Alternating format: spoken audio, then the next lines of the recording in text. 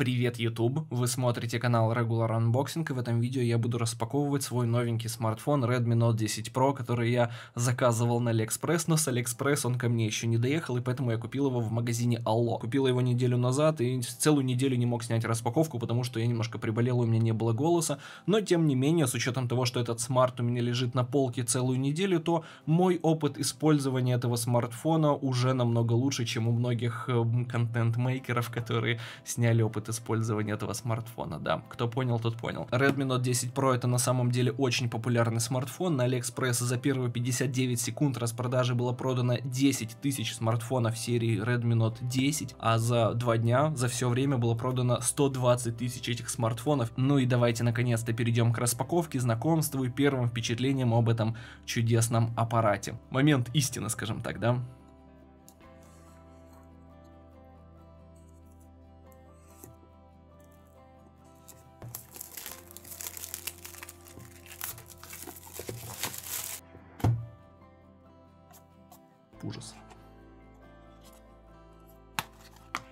Комплекте есть скрепка, она нам пригодится. В комплекте есть инструкция, она нам не пригодится. В комплекте также есть силиконовый чехол с такой матовой поверхностью. Очень, кстати, симпатично выглядит, в отличие от полностью прозрачных. Чехол лучше стал, скажем так. Самое интересное. Достаем смартфон откладываем его в сторонку, потому что, ну, все мы знаем, что там за смартфон, а что же еще есть в комплекте. В комплекте еще есть зарядное устройство мощностью 33 ватт. С помощью него можно будет очень быстро... Почему бумажка не снимается? Ай, ай, не подставляй меня, бумажка. Значит, с помощью этого устройства можно будет очень быстро заряжать смартфон и специальный USB-C кабель с такими вот оранжевыми коннекторами. Момент истины практически щелк Щелк.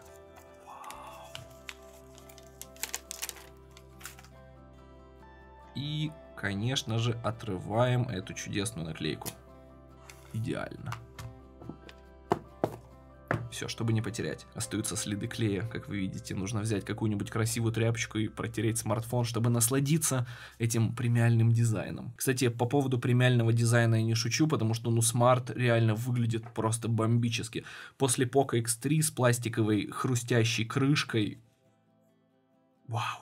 Э, я сейчас хочу немножко насладиться с эстетической точки зрения дизайном этого смарта, вы только посмотрите, как он переливается от софтбокса и лампы. Вот это люстра моя, это софтбокс, а где-то там еще LED ring есть, да. Основная камера на 108 мегапикселей. Дополнительная ультра широкоугольная камера на 8 мегапикселей, макрокамера на 5 мегапикселей, это телемакрокамера, и датчик глубины на 2 мегапикселя. Что интересно, насколько я понял, сзади находится, судя по анонсам, датчик освещенности, и спереди тоже есть датчик освещения и производителем заявлено, что смартфон может корректировать яркость экрана за счет 360 градусного датчика. Задняя крышка стеклянная, такая больше, больше, конечно, похоже на пластик, но заявлено, что стекло, но выглядит оно не как пластик, это точно. Что мне очень понравилось, это второе, что я заметил, это кнопка включения сканера отпечатка. Посмотрите, оно не выглядит даже как э, сканер, просто очень красиво смотрится. Она такая матовая и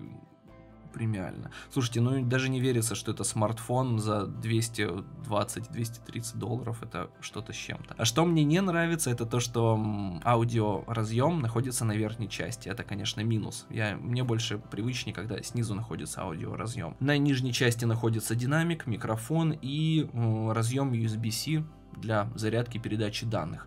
На верхней грани находится э, разъем для наушников, еще один динамик, датчик инфракрасный, еще один микрофон, видимо для камеры, для работы шумоподавления. На левой грани находится только слот для карт памяти и, значит, симок. О, класс, тут слот у нас на две сим-карты и карту памяти. Это очень классно. То есть нет, тут не комбинированный слот, это очень круто. Ну а на правой грани находится регулировка громкости и кнопка включения сканера отпечатка, который тоже чуть-чуть выпирает из корпуса, но вообще не критично. Ну и давайте, наверное, включать это чудо и уже будем знакомиться с его интерфейсом и этим чудесным, как говорят, AMOLED экраном. Я честно вам скажу, AMOLED экраны не люблю, но мы сейчас проверим, насколько сильно будет мерцать этот экранчик.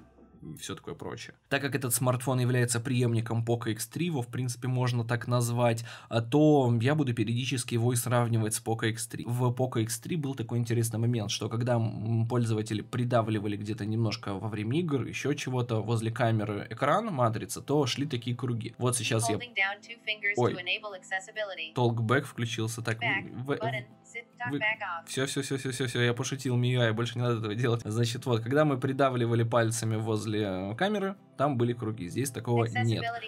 Конечно, может быть, если придавить сильнее, то круг пойдет один большой красивый, но, в принципе, все нормально в этом плане. Под определенным углом, вот можете увидеть, у камеры есть такой тонкий серебристый ореол. Вот он, может быть, это как от, отражение какое-то идет, но вот сейчас он тут очень хорошо даже проявляется. Вот, вот, вот, вот, вот, вот. вот. И магия. Магия, на самом деле магия.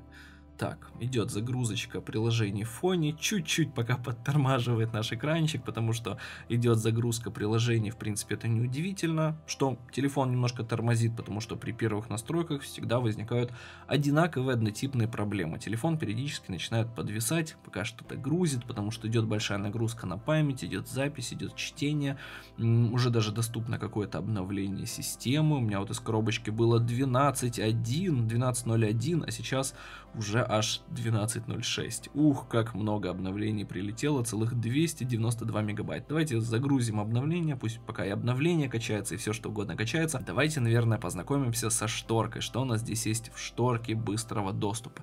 Стандартный интернет, Wi-Fi, фонарик. Фонарик как у нас, кстати, работает? Ну, фонарик тут слабенький, честно вам скажу. То есть, обычно фонарики, они чуть мощнее. Ну, здесь такой фонарик. Есть регулировка яркости в фонарике? Походу дела нету. Я сказал, что фонарик слабенький, но мне теперь в глазу есть пятнышко, потому что я на него посмотрел. Ладно, режим без звука, снимок экрана, Bluetooth. Давайте выключим автояркость и выкрутим на максимум яркость. Вау, он прямо выжигает глаза на максимальной яркости. Вот, допустим, для сравнения Galaxy Note 9.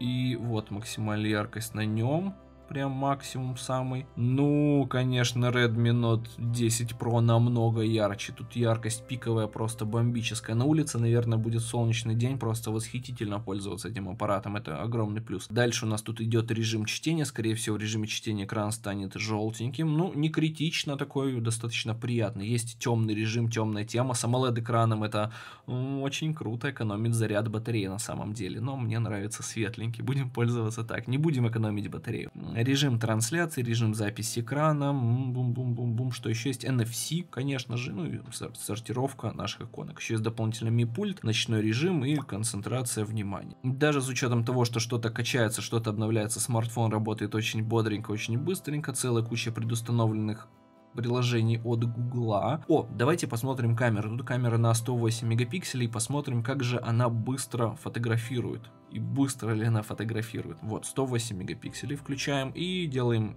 щелк, щелк, щелк. О,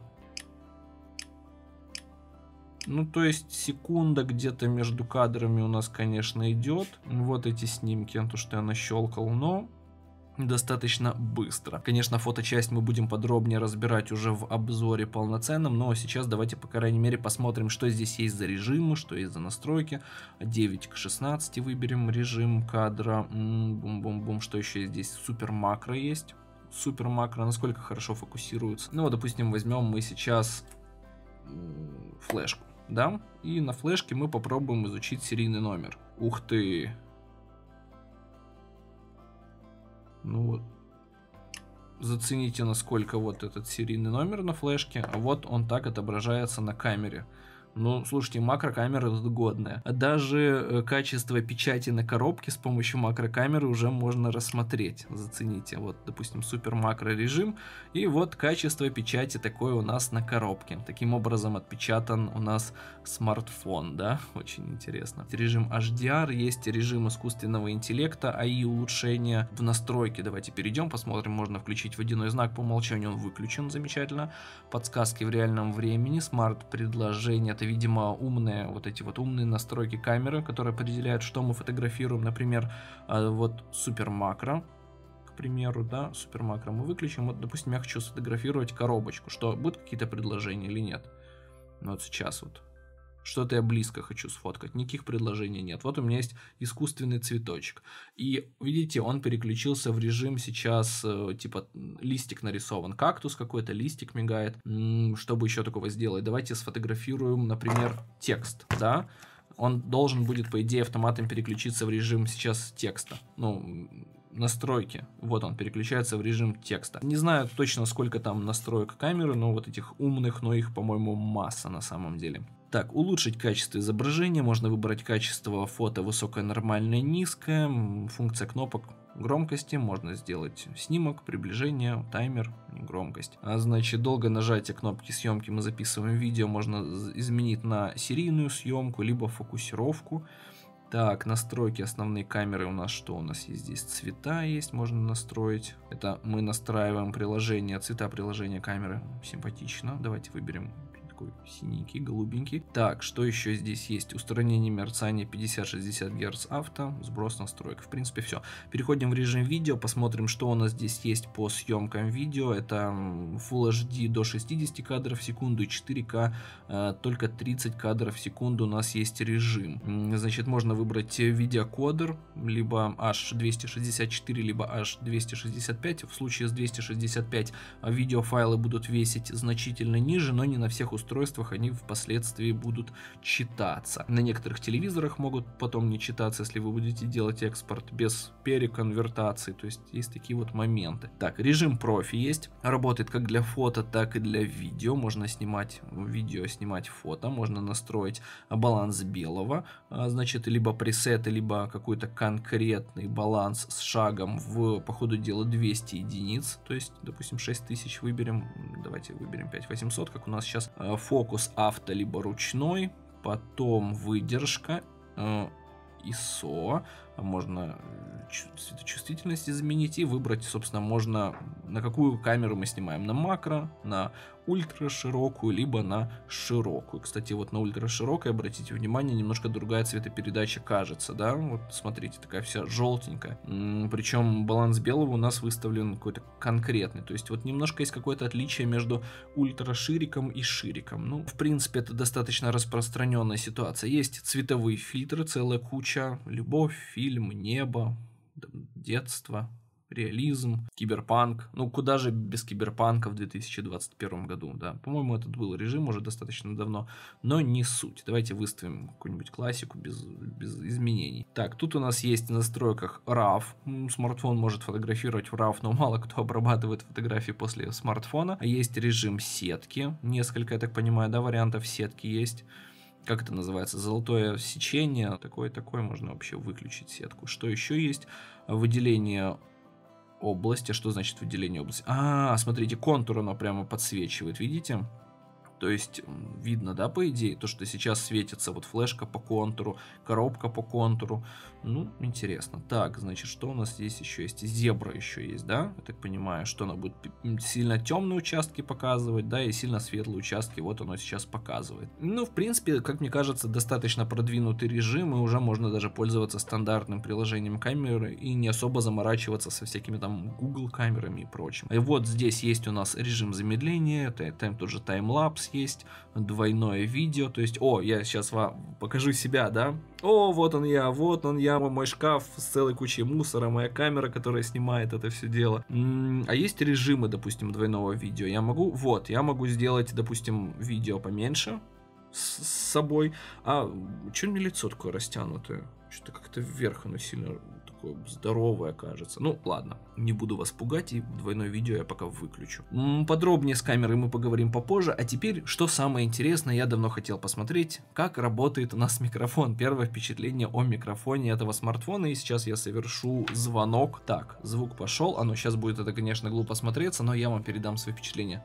Так, значит, сейчас я говорю в этот телефон, и, в принципе, звук очень хороший хороший по этому самому, по громкости.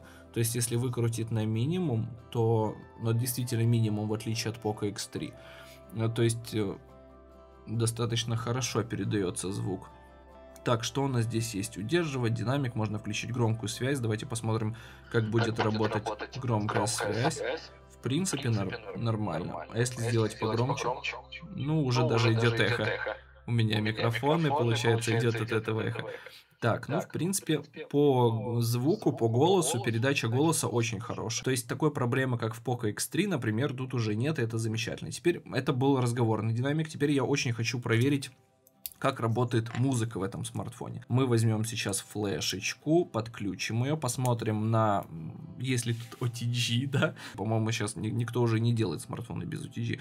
Так, принять и продолжить, разрешаем доступ к нашему эм, файлосховищу, так сказать, да. Ну, все-таки смартфон покупали в магазине Allo, поэтому будет у нас файлосховище. Так, открываем обзор Poco X3 для начала, посмотрим мое чудесное видео с моей Привет, YouTube, мордой.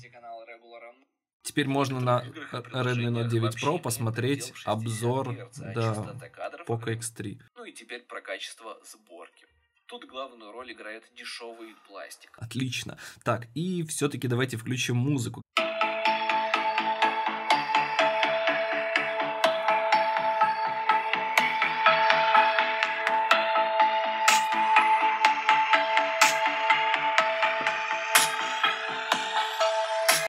вибрацию убрали частично, но, как по мне, сделали только хуже, потому что звук теперь плоский и, ну, как минимум, бездушный.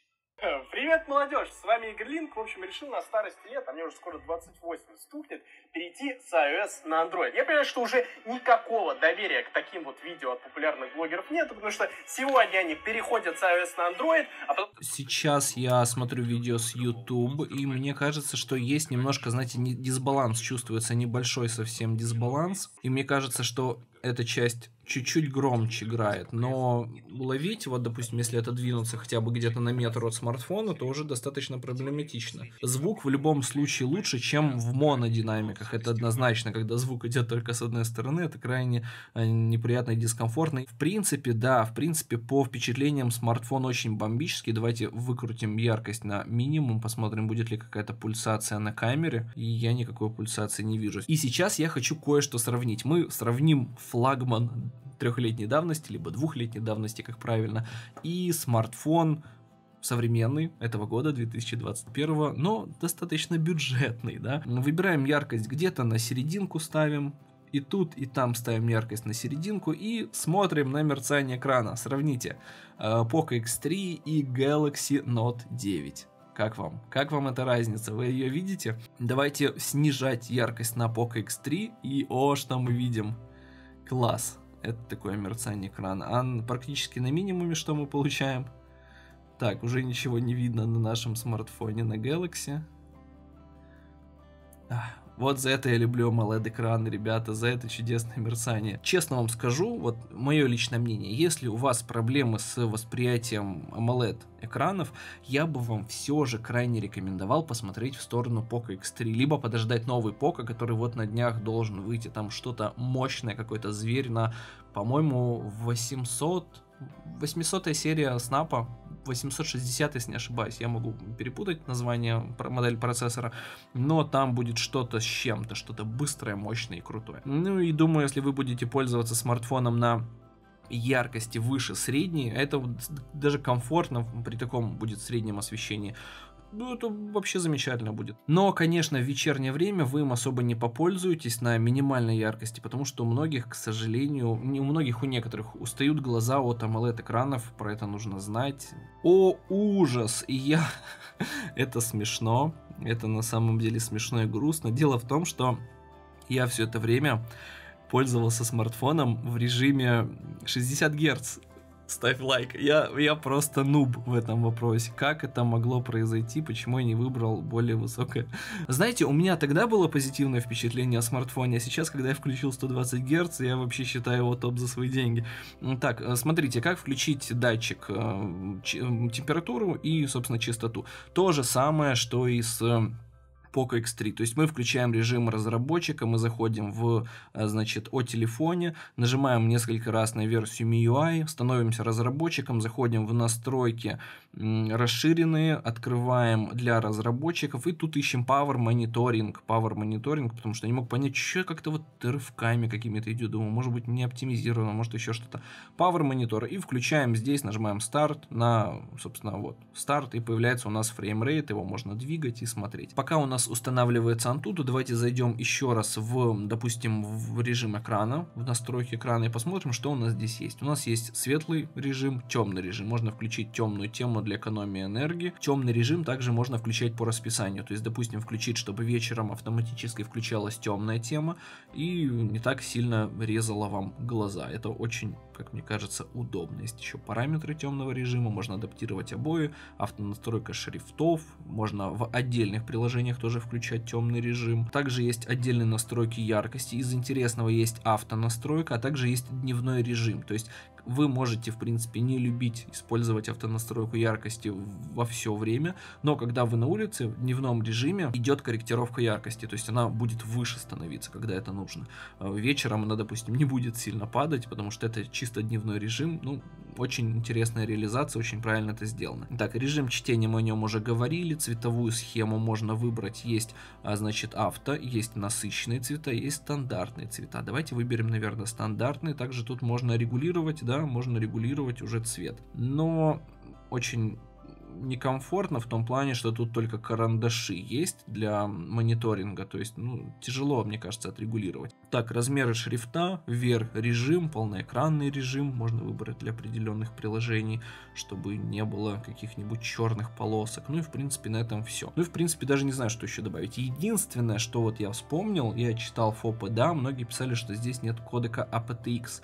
И у меня есть чудесные наушники. Сейчас я их отключу. Пользуюсь ими уже год. До сих пор не снял с них защитные пленочки. Так вот, я бережливый парень. Ну, не знаю, просто вот я обзор про них хотел сделать. Думаю, вот буду делать обзор, сниму защитные пленки. Но обзор я про них так и не сделал, поэтому пленка все еще на месте. Так что сейчас мы посмотрим результаты теста и проверим кодеки. И уже все, наверное, на сегодня. И сейчас мы увидим результаты нашего теста. Уже 96%. По-моему, больше ничего не будет. Такого серьезного. Мы сейчас увидим стрелочку, которая там загнет гнет под 300 тысяч, ну, скорее всего, где-то 270 будет, я ставлю, но, может быть, будет и да, 275, я практически угадал. Нужно будет обновить смарт, посмотреть, как он вообще будет работать на новой системе. Обратите внимание, 35 градусов и до 38 поднялась у нас температура во время теста. И целых 3% заряда батареи мы потратили при нагрузке. Давайте подключим наушники, как я и хотел. Так, доступное устройство. Вот мои наушники, NC-шки. Какой кодек они подхватят, интересно. Если SBC, то все грустно с кодеками. А если LDAC, то окей, принять. Сейчас мы еще... Да, LDAC он подхватил, то есть он видит этот кодек. А какие-то есть еще выборы по кодекам? А, так, нет. Значит, мы сейчас скачаем приложение для этих наушников и принудительно их переведем в режим aptX. Оставляя только aptX HD, Low Latency, aptX и aptX. Просто. Окей, да. Значит, соединение оборвало. Сейчас наушники переподключатся к смартфону. Bluetooth. aptX HD, смотрите. Кодек Стоп, а почему LDAC? Опять это отобразился. Но видите, сейчас идет подключение по aptX HD. Вот. Но тут почему-то LDAC отображается. Давайте LDAC выключим, и что будет писаться. И переподключим Bluetooth сейчас еще разочек. Посмотрим, что получится в итоге. aptX HD кодек есть, висит, все нормально. Почему-то люди говорили, что, мол, aptX нету в этом телефоне кодека. Не знаю. Но вот наушники, которые точно поддерживают этот, этот кодек отображается под XHD. Так, забегая наперед, я не знаю, как я это сделаю в монтаже, но дело в том, что сканер мы настроили отпечатков, но я его не проверил. Значит, выключаем экран, э, прикладываем пальчик, разблокировался очень быстро. Шлеп открылась вообще, то есть слегка касаемся и телефон разблокировался. То есть не стоит переживать, что сильно часто нажимать вы будете на кнопку, и кнопка там исчерпает свой э, ресурс работы. Ее даже нажимать не нужно, просто палец вот слегка приложили и телефон разблокировался. То есть просто замечательно. И давайте посмотрим, мне интересно, есть ли тут что-то типа Face ID, чисто ради интереса блокировка, пароли безопасность. А да, разблокировка по лицу здесь тоже доступна, можно ее попробовать сейчас включить. Сейчас мы ее настроим, проверим, как работает она. Будем ее использовать по двойному тапу. Так, далее, вот где-то тут должен быть я. Угу. Все, лицо попало в рамки, такой был лицо один, называем окей. И давайте проверяем. Выключаем телефон, двойной тап, ну, в принципе, быстренько, да, разблокировка произошла. Выключили двойной тап, оп, галочка быстро появляется. Выключили двойной тап, оп, моментально. А если я слегка отвернусь, очень интересно на самом деле. А если вот так? Лица нету. Ну, очень большой угол обзора у камеры на самом деле. То есть я прям лицо отодвигал, и оно в состоянии его разблокировать. И последнее, что мы проверим в этой небольшой распаковке, это, конечно же, игра Genshin Impact. Немножко поиграем, но, опять же, о боже, частота съемки видео всего лишь 30 кадров в секунду, поэтому будут некоторые проблемы. Давайте запустим игру, посмотрим на настройки, которые нам рекомендуют системы, буквально пару минуток в нее поиграем, и, в принципе, я буду подводить итоги по ходу дела игры, рассказывать об этом телефоне то, что я думаю. Проблем со звуком при разговорах нет, это плюс. А корпус более, скажем так, премиальный, это тоже плюс, это если сравнивать с Poco X3.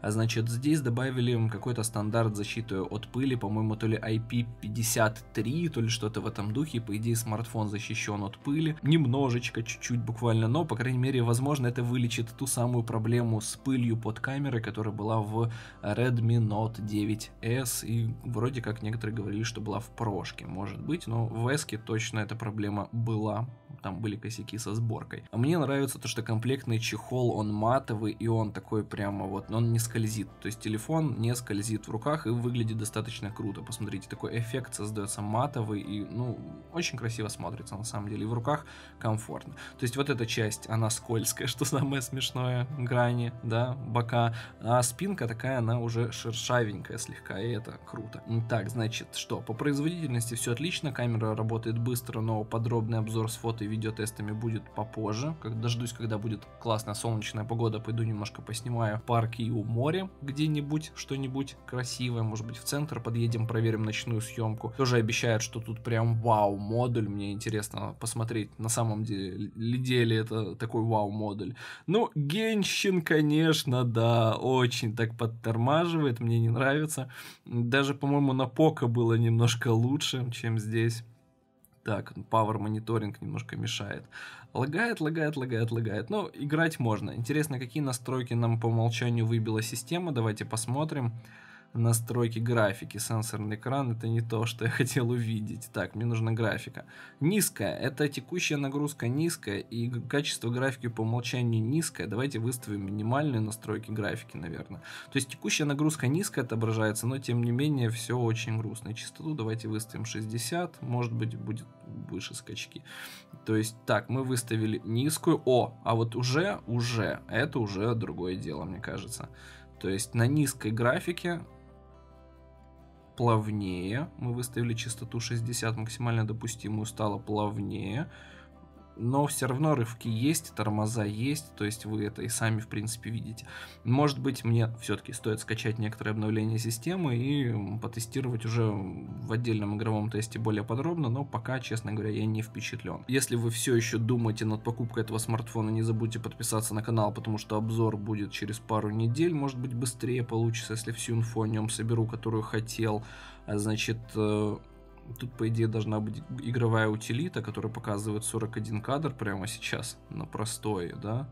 Но что-то мне вызывает некоторые сомнения. 51 на простое, на это мы не двигаемся, ничего не происходит. То есть, ну, Нету тут 50 кадров в секунду, то есть, ну, а если есть, то периодически сильными просадками. Все, что можно сказать об этот гейм утилите. Одновременно нельзя вывести FPS, вот это меня бесит, и смотреть на производительность. Но нагрузка, как вы видите, на видеочипы, на процессор, на видеочип почти 70%, на процессор чуть меньше половины, ну, половина плюс-минус, то есть, в принципе, на минималках он с этой игрой должен хорошо работать. Но я уже чувствую прям нагрев вот в этой части по экрану, прям он, ох ты, он горяченький, смотрите.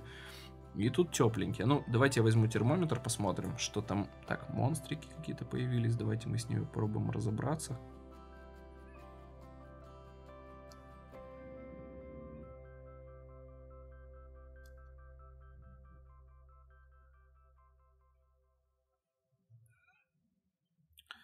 Утилиту мы отключим, потому что и так понятно, что 60 Гц, 120 он не вытягивает на в играх.